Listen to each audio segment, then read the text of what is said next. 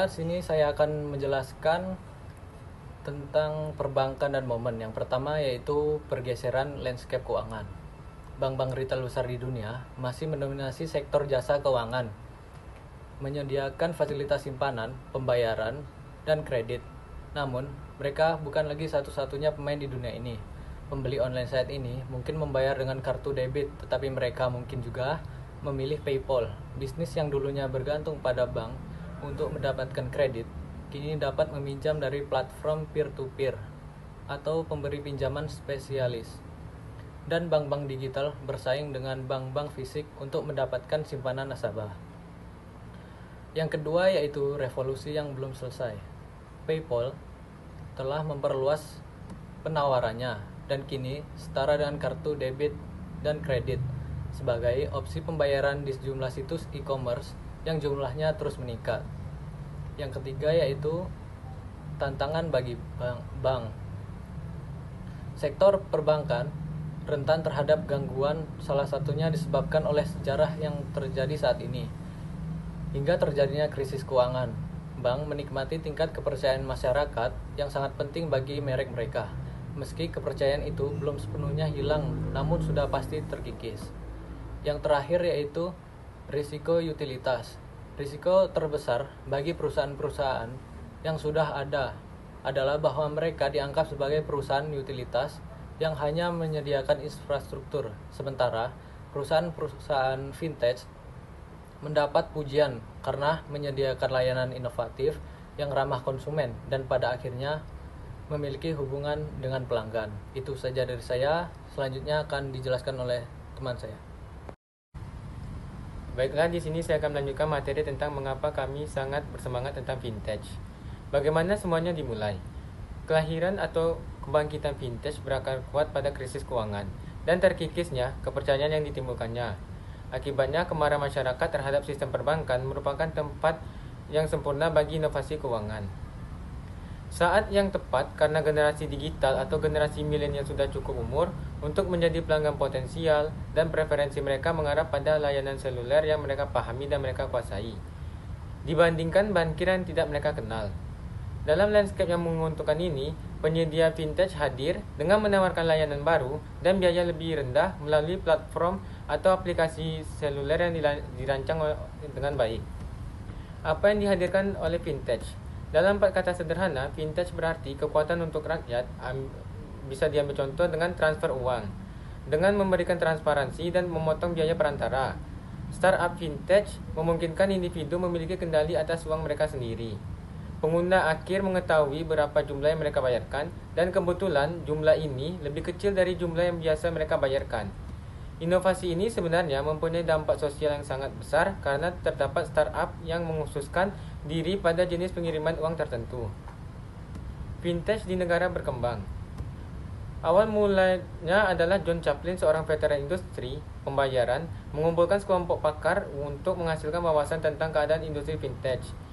Kesimpulan yang mereka ambil dalam penelitian mereka, sebagian besar inovasi vintage berasal dari uh, Asia, diikuti oleh Afrika, Amerika Utara, Amerika Latin, dan akhirnya Eropa. Alasan mereka cukup intuitif, yaitu kurangnya in infrastruktur di negara-negara berkembang, memberikan ruang bagi mereka untuk berinovasi yang tidak akan berhasil di negara-negara barat yang memiliki banyak bank dan sistem-sistem perekonomian yang kuat. Uh, selanjutnya adalah bank beware. Vintage telah mengungkapkan banyak gangguan dan mungkin masih bisa menyembunyikan lebih banyak lagi gangguan lainnya. Masyarakat membutuhkan perbankan, namun belum tentu mereka membutuhkan bank. Layanan baru, layanan baru yang lebih nyaman dan berpusat pada pelanggan mengubah landscape, sementara pelanggan menjadi lebih menuntut. Tidak, tidak ada bank yang dapat menyangkal hal ini. Menjamurnya pemain-pemain khusus yang berfokus pada layanan tertentu membuat semakin sulit bagi lembaga keuangan tradisional untuk mempertahankan kepemilikan nasabahnya. Yang terakhir adalah konsep ulang yang, yang terganggu. Langkah yang paling cerdas dilakukan oleh bank adalah berkolaborasi, bukan bersaing, dan banyak bank-bank telah memahami hal ini. Mereka menciptakan inkubator atau akselerator Barclays dan menyiapkan dana ventura khusus atau Santander Innoventures atau sekedar mengakuisisi startup. Strateginya berbeda-beda namun tujuan mereka tetap sama yaitu bertahan atau mempertahankan dan bahkan mendapatkan keuntungan dari disrupsi digital. Uh, itulah materi yang dapat saya sampaikan. Uh, selanjutnya akan dijelaskan oleh teman saya.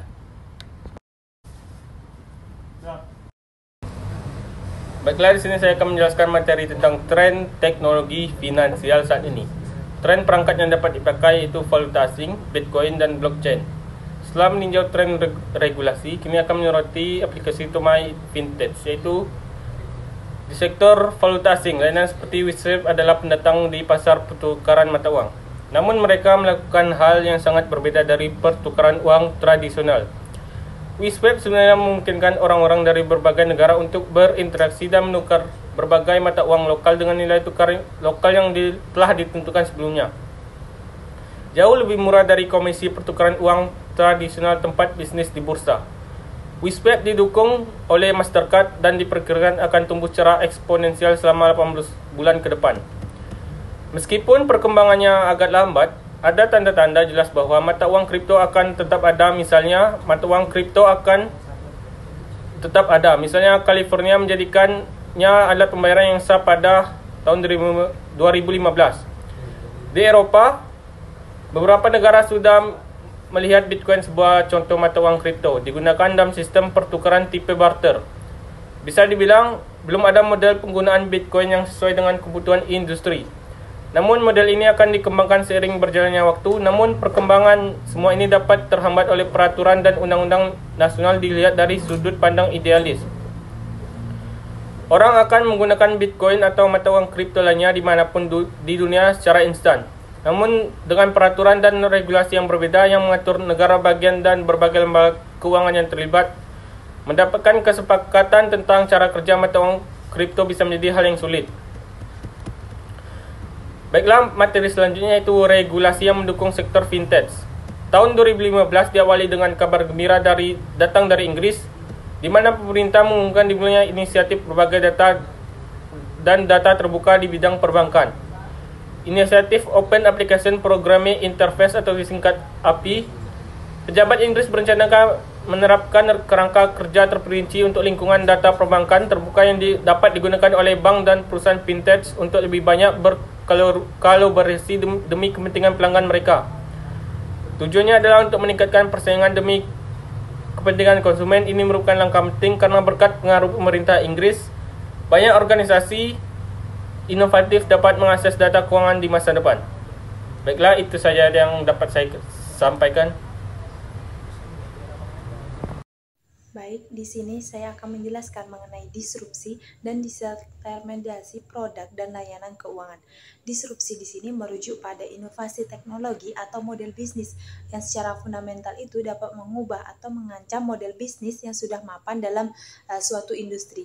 Jadi, disrupsi di sini mengacu pada kemunculan produk dan layanan keuangan baru yang lebih efisien, lebih terjangkau, dan sesuai dengan preferensi konsumen yang berbeda, terutama bagi generasi milenial. Proses uh, disintermediasi juga di mana peran dan posisi lembaga keuangannya tradisional itu sudah mulai bergeser uh, tergeser oleh layanan keuangan berbasis teknologi yang langsung uh, menjangkau konsumen. Tentunya di sini generasi milenial juga berbeda dari generasi-generasi sebelumnya dalam uh, hal tingkat pendidikan yang lebih tinggi dan sikap negatif terhadap uh, keuang, lembaga keuangan besar. Uh, ciri khas dari generasi milenial adalah tingkat integrasi dari teknologi dalam kehidupan mereka, di mana mereka ini lebih memiliki konektivitas uh, selulernya itu sejak usia dini dan kehidupan sosialnya yang sangat terkait dengan perangkat digital. Generasi milenial juga umumnya lebih optimis, aktif dalam penggunaan-penggunaan teknologi.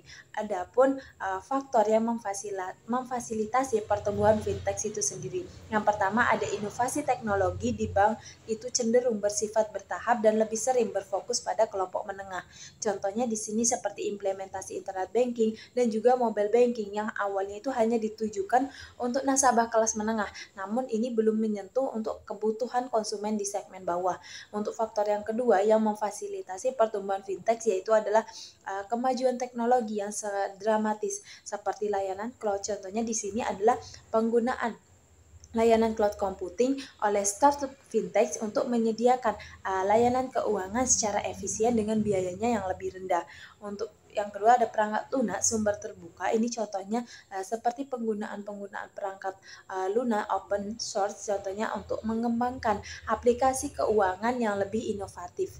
Dan ada juga kecerdasan buatan AI. Di sini contohnya seperti penggunaan uh, teknologi AI yaitu untuk memberikan uh, saran keuangan yang uh, personalized uh, kepada para pengguna. Soalnya itu ada perangkat seluler, contohnya uh, seperti pengembangan aplikasi-aplikasi mobile banking dan pembayaran uh, seluler yang bisa memudahkan akses keuangan uh, bagi konsumen.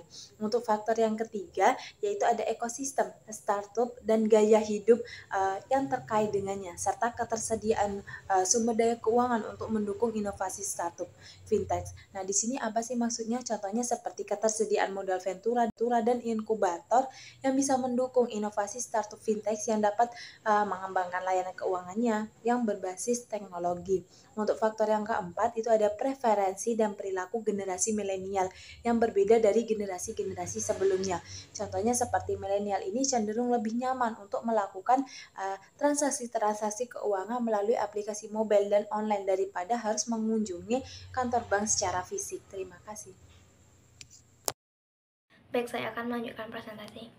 Perlu diketahui bahwa generasi milenial itu menggunakan uang mereka dengan cara yang berbeda. Terdapat enam cara generasi milenial itu menggunakan uang mereka. Yang pertama, generasi milenial itu menggunakan uang mereka sebagai jaringan sosial. Generasi milenial itu menggunakan Venmo dan Snapcash untuk mentransfer uang ke teman mereka. Hal ini akan memperkuat penggunaan PayPal dan Snapcash. Kemudian, generasi milenial itu cenderung memindahkan uang mereka ke banyak tempat dalam waktu yang cepat, sehingga generasi milenial ini uh, lebih memilih cara yang instan dan mengharapkan adanya layanan yang terbuka selama 24 jam. Kemudian, generasi milenial itu semakin cepat untuk menabung dan berinvestasi. Hal ini bisa dilihat dengan penggunaan robot advisor yang di mana membantu generasi milenial untuk menabung dan berinvestasi eh, dengan lebih cepat. Kemudian, yang keempat, generasi milenial ini cenderung melakukan uh, transaksi perbankan tanpa ke bank.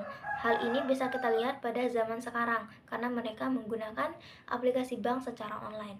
Kemudian generasi milenial itu e, berinvestasi tidak hanya sekedar mengharapkan laba dari investasi mereka, tapi mereka lebih cenderung atas isu-isu dan dampak yang bisa membawa ke perubahan perubahan positif.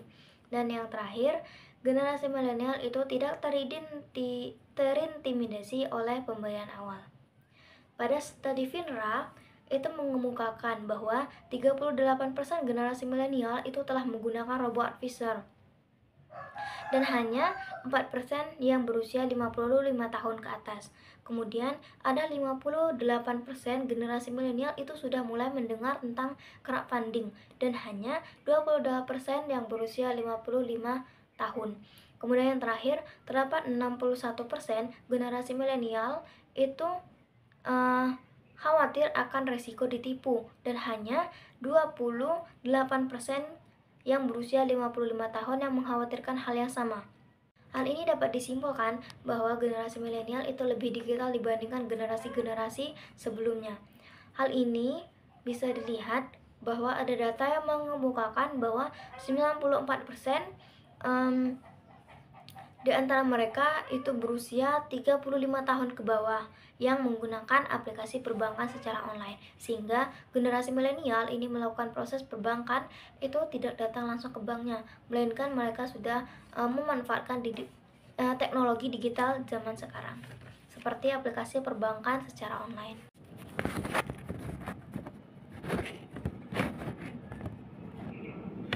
Kemudian ada inovasi yang bernama Clutch yang di mana dalam kompetensi kelas ini uh, penyedia layanan dapat menanggung beban menginstal dan memelihara semua server, penyimpanan, database, dan aplikasi yang terkait uh, yang diperlukan bersama dengan perangkat lunak komunikasi, konektivitas, dan keamanan terkait percandangan dan lain-lain.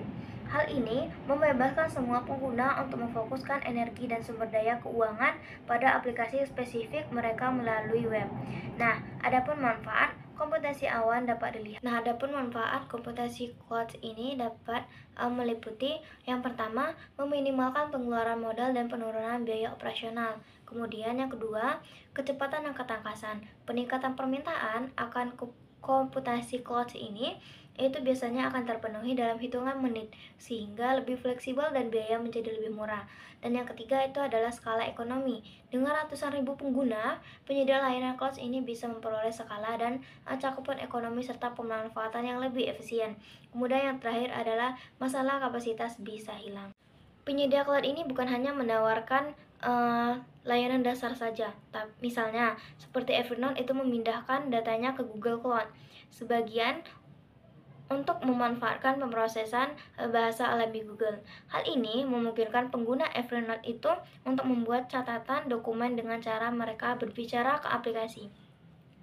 Selain itu, platform um, berkolaborasi dengan Slack, Microsoft Teams, kemudian HipChat ini menyediakan uh, layanan bagi tim untuk berko berkomunikasi secara berkelanjutan dan akses langsung ini konsisten dengan apa yang diharapkan oleh generasi milenial dalam kehidupan sosial mereka dan menambahkan produktivitas dalam kelompok mereka untuk uh, melakukan pekerjaan mereka. Selanjutnya ada kecerdasan buatan.